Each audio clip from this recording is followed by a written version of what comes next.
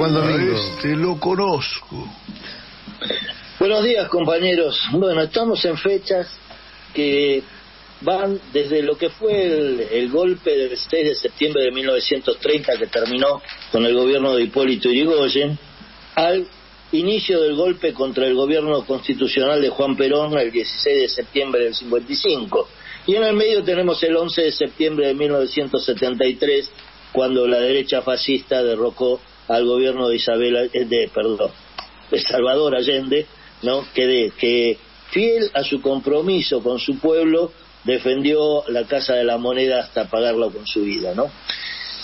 Es eh, importante analizar todo esto, sobre todo después que escuchamos a, Miguel Ponce, ¿no?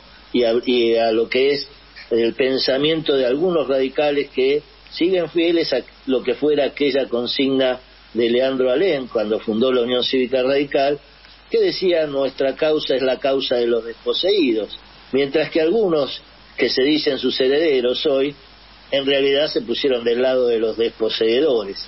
Es cierto que ha habido una historia de desencuentros entre las distintas ramas del movimiento nacional, porque uno debería hacer una línea histórica que va desde el federalismo, de las montoneras, de Juan Manuel de Rosas, pasando por Hipólito Yrigoyen hasta desembocar en Juan Perón y en lo que es el partido político y el movimiento nacional más importante de la historia argentina en el siglo XX y en el siglo XXI, ¿no?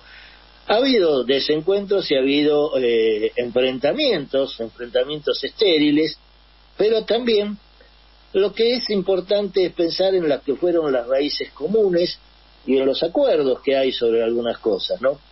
Irigoyen era eh, nieto de un funcionario policial de Juan Manuel de Rosas, Leandro Antonio Alén, que eh, fue fusilado después de Caseros tras una farsa de juicio.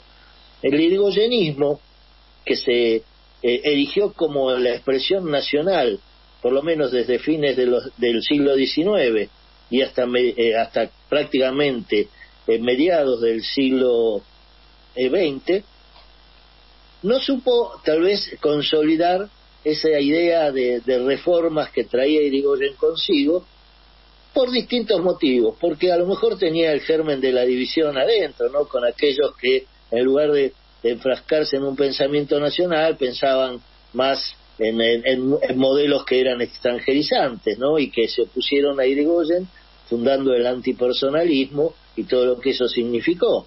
Ahora, tras la caída de Irigoyen, esa, esa eh, idea del pensamiento nacional, de un movimiento que viniera a cambiar las estructuras de la dependencia que habían consolidado eh, los gobiernos eh, oligárquicos desde Mitre, Sarmiento, pasando por Roca y todo lo demás, se refugia en Forja, ¿no? La Fuerza de Orientación Radical para la Joven Argentina, donde militaban entre otros Jaureche, Calabrini Ortiz, el gran Homero Mansi, que lo citó Martín hace un rato, ¿no? Y que fueron, digamos, el puente entre el, el, radicalismo irigoyenista, aquella tradición, y lo que fue el naciente peronismo, ¿no? También estaba allí Jorge Farías Gómez, ¿no? Este, ya que escuchamos al grupo de Chango en Forja, ¿no?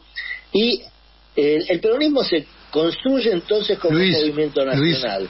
Luis, alejate, Luis. Tal vez porque eh, Perón prefirió evitar los derramamientos de sangre. Muchas veces se ha pensado, ¿qué, ¿por qué Perón no resistió el golpe? ¿Por qué no ordenó a, aquellos sectores de las Fuerzas Armadas que le eran leales y sobre todo al movimiento obrero y a la, población que resistiera aquel, aquel golpismo que comandaban primero Lonardi y Rojas y después Aramburu, ¿no?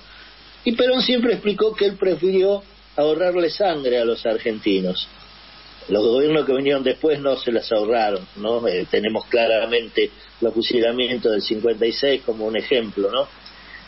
Entonces, el problema es que después esa división siguió y esos enfrentamientos hasta eh, aquel momento de la hora del pueblo, aquel momento del retorno definitivo de Perón a la patria, su abrazo con Balbín, y esa idea de que se podía consolidar de nuevo una unión entre las distintas fuerzas que venían del campo popular.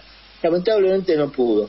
Tal vez porque ambos movimientos debieron pensar primero en extirpar de su seno aquellos elementos que en realidad no son pertenecientes al campo nacional, no son pertenecientes al campo popular, sino que se injertaron, tal vez con la decidida intención de aprovecharse de la fuerza que tenía ese movimiento, tanto en las épocas de Irigoyen como después, sobre todo con el peronismo, y desde adentro tratar de destruirlo, ¿no? Eh, el ejemplo de José López Rega nos parece bastante pertinente.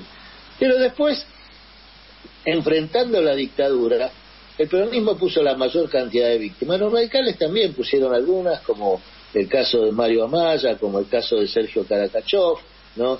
de Pizarello y algunos otros eh, eh, dirigentes que fueron víctimas por ser consecuentes con la defensa de la democracia.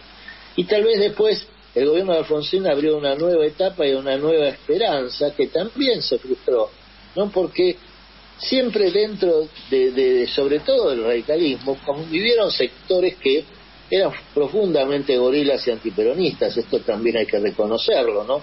Entonces, eh, todo lo que viniera del peronismo era motivo de rechazo, de, desencuentro, ¿no? Y eso eh, es una de las razones, tal vez, de la imposibilidad de consolidar desde gobiernos del campo popular algo que vaya más allá de los límites estrechos que fijan las elecciones o los procesos electorales.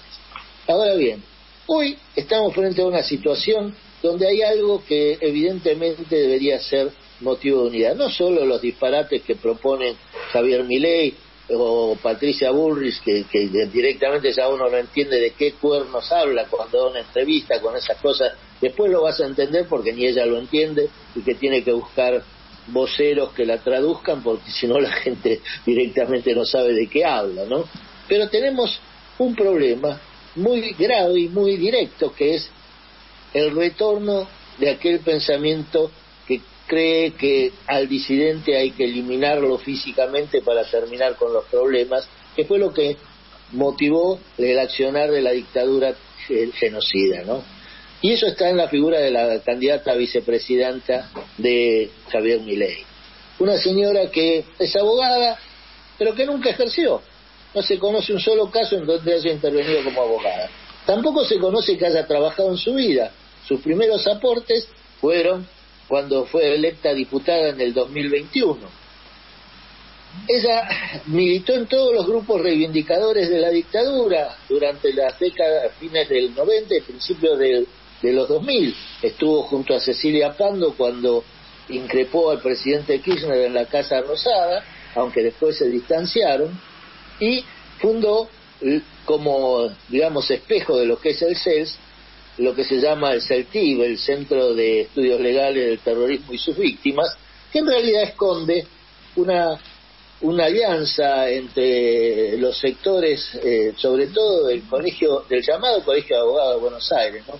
que aprovecha la similitud con lo que es el colegio público para llamar a confusión, porque el Colegio de Abogados de Buenos Aires es el reducto de la derecha más eh, recalcitrante y no es un colegio público, ni es obligatorio, ni representa a todos los abogados, ni mucho menos. Sin embargo, aparece generalmente en las páginas de la Nación como mencionado. Bueno, varios de los eh, fundadores y de los socios directivos del Colegio de Abogados son eh, también socios con eh, Victoria Villarruel en el CELTIP, ¿no? Y nosotros hemos asistido a ese acto repugnante del 4 de septiembre porque usó la legislatura de la ciudad, que debería ser el, el lugar de encuentro de los distintos debates democráticos entre las distintas corrientes de pensamiento que tienen representación eh, legislativa por lo menos y que fue usado con la complicidad de Juntos por el Cambio, digamos, porque esto no, no, no fue gratuito. Entonces estamos frente a la posibilidad de que una reivindicadora de la dictadura genocida, yo no le digo negacionista porque creo que no es negacionista, ella afirma su, eh, su, afin, eh, su, su pertenencia a los mismos sectores de la, que hicieron la, la dictadura y reivindica los medios que usó la dictadura, ella dice no hubo terrorismo de Estado, a lo sumo puede haber habido algún abuso, los terroristas eran los otros, y siempre habla de ese término. Entonces, no, no niega, afirma su pertenencia al mismo sector ideológico de la dictadura genocida. Y esta mujer puede ser la vicepresidenta de la Nación y tal vez, ¿por qué no?, si pues, se produce algún tipo de evento que desplace al sombrerero loco de la presidencia, si es que llega a esa cosa que esperemos que no ocurra, terminaría siendo la presidenta de la Nación. Y además, eh, ley ha anunciado que Victoria Villarroel se va a encargar de la defensa y la seguridad.